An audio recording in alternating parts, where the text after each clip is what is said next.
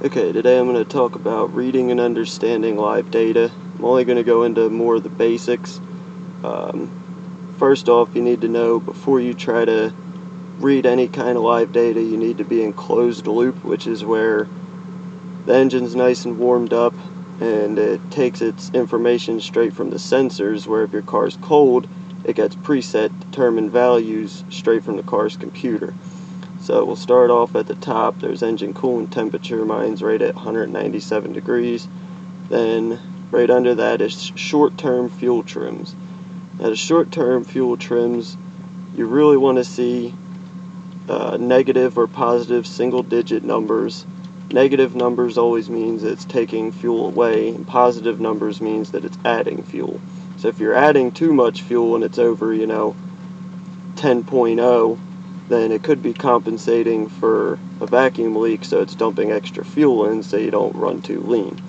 Now the long-term fuel trims, they appear to be staying the same, giving you, you know, a, a better idea of what's going on long term, but they too should stay in single digit numbers. You really want to see, you know, no more than five. It can sometimes fluctuate a little higher than that but you really for short and long term fuel trims you want to see single digit numbers under 10 positive or negative.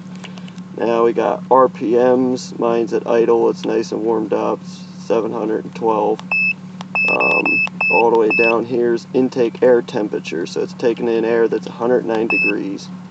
Then you got your throttle position sensor. If I hit the throttle you'll see that go up Now, right under that is oxygen sensors. Now, I have a V6 engine, so there's bank 1 and bank 2. What that's saying is O2 bank 1 sensor 1. Then you got O2 bank 1 sensor 2, and then finally O2 bank 2 sensor 1.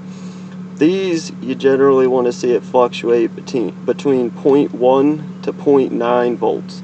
So, it fluctuates 0.9 being more rich, while 0.1 is more lean. So you'll see it go, you know, over 0.5 and then below 0.5 and then over 0.5 and below 0.5. And that's what you really want to look for. If it's constantly staying down, and you can rev the engine to see better what's going on. See, it just went rich and now it's lean. So you really just want to see it fluctuating between 0.1 and 0.9 pretty much on a constant rate if it's not, you know, you might have something to look into, but these are just the basics on reading it. And if you have a high, really, you know, high price scanner, you might, you know, be able to turn on different solenoids to see if they're working instead of, you know, pulling out a vacuum gauge, like for your EGR valve, pull out a vacuum gauge, see if it's the diaphragm's actually opening and closing inside the EGR valve.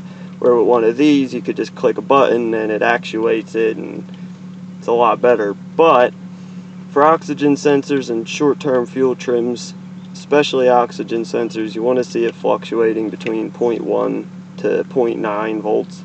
For short-term fuel trims, you want to see it around single-digit numbers, really no more than 5. It can sometimes, like I said, go up to 7 or 8, but you really want to see it below 10 positive or negative numbers. So that's just the basics. I'll have a lot more information soon. And uh, yeah, if you like this, comment, subscribe. And if you have any questions or you want me to do a longer video on a specific topic, let me know. Thank you.